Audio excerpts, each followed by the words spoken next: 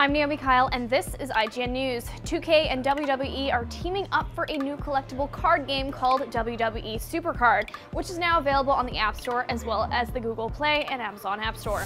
Players have the ability to build teams of WWE superstars, divas, and legends from more than 400 cards with seven different rarity levels. To collect more cards, players can win them in online matches or purchase individual card packs. 2K Studio Cat Daddy Games will continue to expand the WWE Supercard universe with regular roster updates. Superstars tag teams or five-person teams can be used online against other players while training and combining cards awards level upgrades for cards. Users can also play through full seasons with high levels of participation resulting in higher rankings and bigger rewards. For more on WWE Supercard, keep it locked on IGN.